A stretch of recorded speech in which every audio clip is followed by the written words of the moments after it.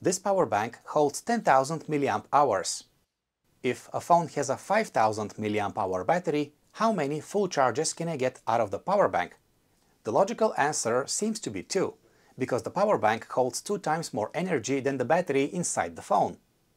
But in reality, the power bank dies much sooner than you would expect. Are we being scammed? Only sometimes. You can still buy fake power banks with ridiculously exaggerated capacity ratings.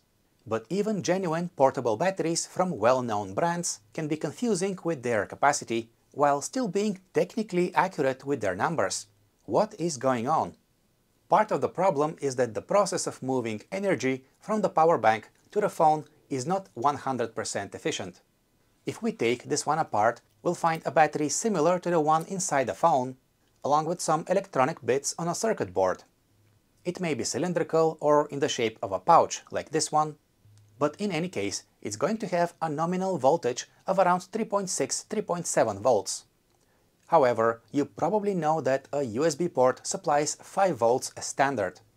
Some fast charging systems can go even higher, up to 20 volts and beyond. A single battery cannot charge a phone by itself. That is why a power bank always has some kind of a DC voltage converter. Its function is to boost the voltage from the battery to the required 5 volts or more, or to reduce it if the power bank uses several battery cells in series. No matter the case, this conversion of one voltage to another is never 100% efficient. Here I have the circuit board from the power bank connected to my power supply.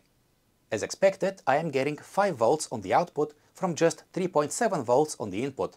There's a bit of current being drawn by my USB meter. But look what happens when I connect this USB LED light.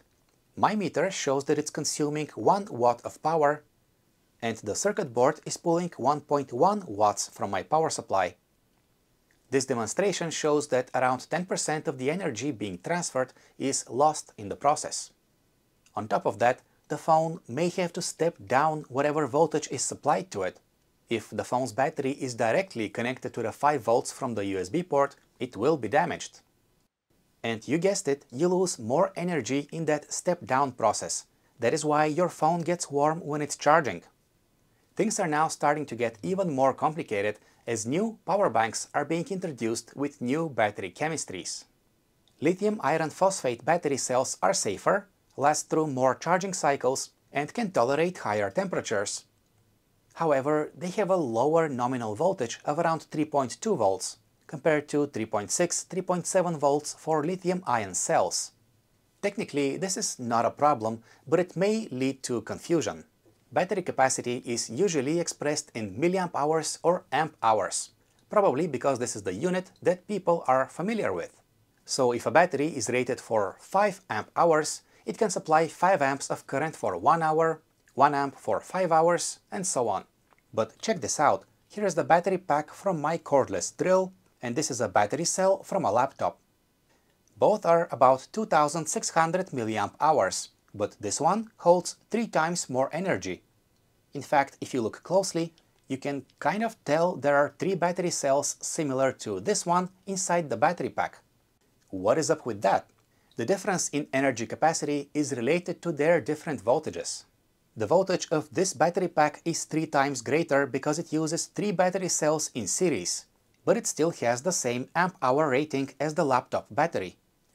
There is a better unit that takes voltage into account. That is the watt-hour, and it's what you get when you multiply the amp-hour rating of a battery by its voltage. We should be using watt-hours if we want to easily compare battery and power bank capacity, regardless of chemical composition. In fact, some brands already do, especially for their bigger power stations. But we still run into cases like this one, Here's a power bank using lithium iron phosphate batteries that can hold a whopping 90,000 mAh. There is a huge capacity, don't get me wrong, but to get the same energy capacity using lithium ion cells, you would need just 76,000 mAh worth of battery cells, a difference of 15%. So when comparing power banks, always look at the watt-hour ratings. And if they are not listed, you now know how to do the math and always consider the charge estimates given on the product page to get a better idea of how many charges that power bank can provide. Thanks for watching and I'll see you in the next video.